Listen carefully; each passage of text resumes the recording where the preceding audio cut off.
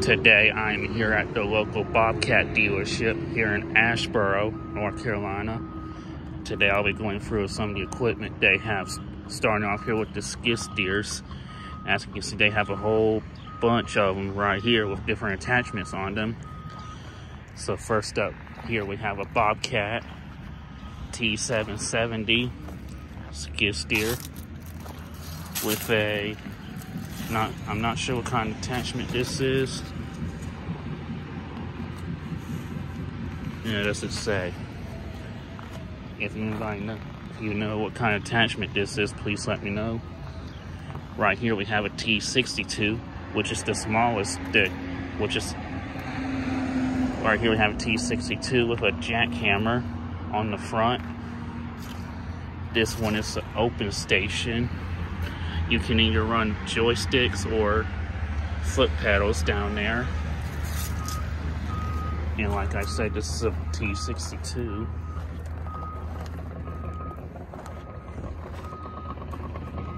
Which I think is the radio, radio lift, how you pronounce it. Looks like it's a pretty nice machine. Here are your hydraulics for it right here, as you can see. It does not have high flow on it. Here we have a T66 with a 4-in-1 bucket. And by the way, these three machines right here is part of the R series that came out in, I think it was 2020. The first model that came out with the R series with the, with the T was the T76 and then since then they had new models that came out. Right here's one of the newer models. Well not new new but new. The T66 here you can see the in cab. You can also run foot pedals and joysticks. And like I said this has a four-in-one bucket. Here we have another T770 with a what looks like a mulcher attachment or mower some sorts. And this has the Y tracks on it, as you can see. Most of these machines here has a has Y tracks. Here we have another T770. This one has the roller, has a roller on the front, as you can see. And it looks like they do have high flow and just has to quick attach where you unhook the implement from in the cab. Here we have a T76 with a landscape brake. This machine right here was the first model of the R series that came out in 2020. Here's a quick look at the landscape brake right here on the machine.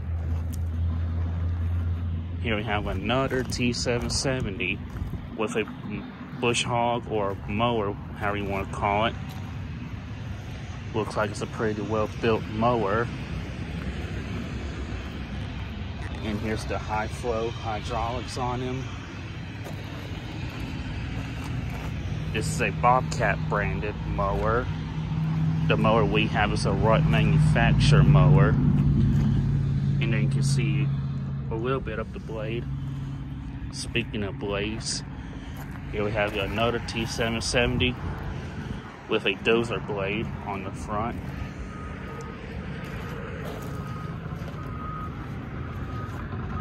You can use this blade to push dirt, rocks, or mulch. And I guess you can push snow with this if you don't want to use a bucket. Here we have a T770 with a grapple on the front. And as you can see, this grapple is open on the bottom. Some grapples are closed on the bottom, but this grapple is open, which I'll show you over there. There's a grapple that's not closed. That's and here's a look at the T770. And it has DEF on it, like always. And this is a two-speed machine. Here we have a T26, a T T64 with a trencher on it. This implement lets you cut trenches in the ground for cables as such. We've never used one of these that much before. We have one, but we don't use it that much. Here we have a grapple that's closed on the bottom, as you can see, towards that other grapple over there is open. I much rather prefer these grapples over the open grapples. And this T66 has, it has weights on the back. So if you're lifting heavy loads, you won't tip, tip over. So that's their skid steers they have. Now look at the excavators. Right here we have a Bobcat E50 with the Engcon. I think that's how you say it. Rotator. I have never seen one of these before in person. I've only seen them on YouTube and that's it. From the looks of it, they look complicated to run. Here's a quick walk around the Engcon. This has, you can run multiple attachments with this. Here's the E60 with a traditional grading bucket.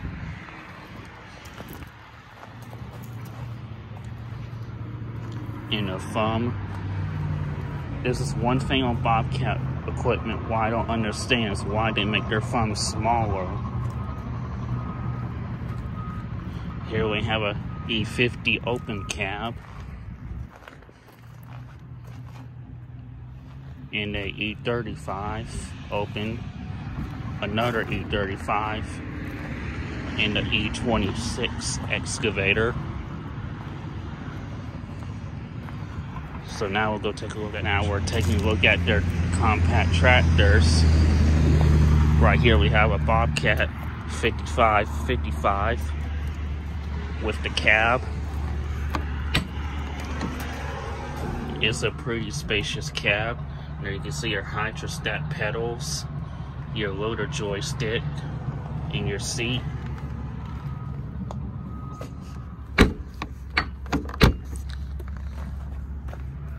Here's your three-point hitch on the back. And it has one set of hydraulic remotes. And there's your PTO down there. Right here you have we have an open cab 4045 tractor.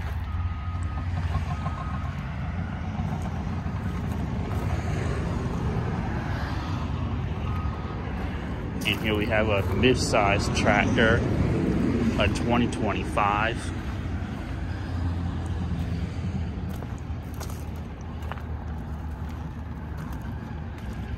Here we have another 2025. And I believe this is a 2025. Yes, it's a 2025. And all of these have three-point hitches. And they all have hydraulics on the back. And they both have the hydrostat pedals forward and reverse.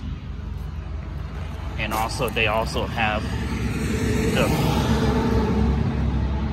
they also have the quick attach right here. Now we'll take a look at their stand-on skid steers, which I won't go over every single model because they're all the same. All of these are the MT100s, which seems to, which they look to be pretty nice machines.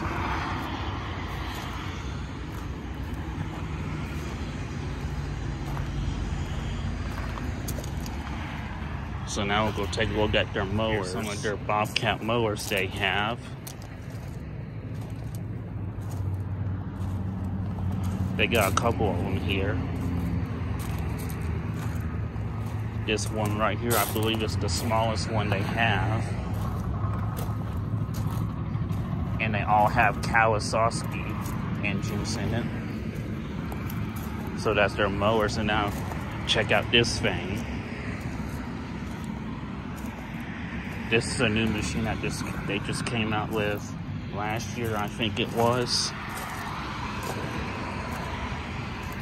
It's pretty much a Ventrac but a Bobcat version. And here's this wheel loader.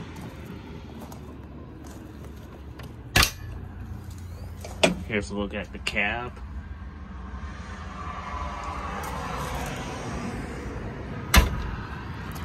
So that's the walkthrough of the Bobcat dealership. Thanks for watching, and I'll see you in the next video. Thanks.